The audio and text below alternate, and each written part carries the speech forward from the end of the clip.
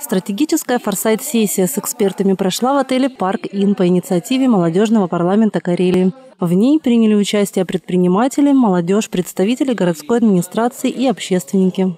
Это было, правда, здорово, потому что мы не так часто, к сожалению, объединяем вот такое экспертное сообщество. Но сегодня мы провели продуктивнейший день. Э, мы сделали проекты, написали их. Я надеюсь, что они реализуются, и молодежь готова к этому подключаться. Это важно. Проведение сессии позволило четко сформулировать позицию города на предстоящем республиканском общественном форуме «Вперед, Карелия», который состоится 26 августа. Сегодня на тематических площадках «Молодежь», «Туристический потенциал», «Город у воды», «Будущее города» появились проекты, направленные на развитие Петрозаводска.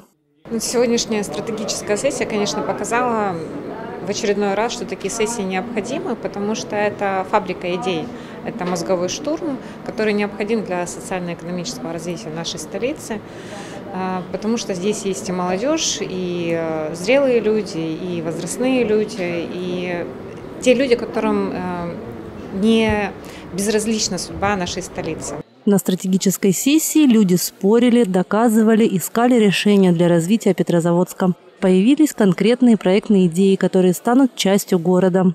Итоговой презентации участники представили главе Петрозаводска и сформировали исполнительный комитет по реализации проектов. Цель сегодняшнего мероприятия, наверное, была все-таки такая переходная к к следующему масштабному форуму «Вперед, Карелия».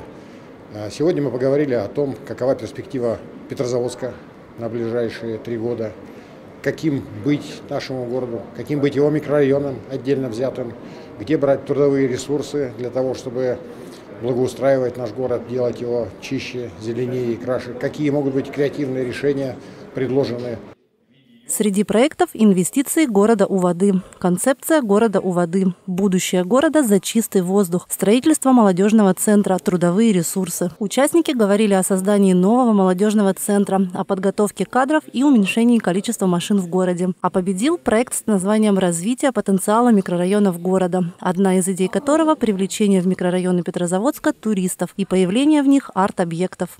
Александра Моисеева, Борис Касьянов, Служба новостей.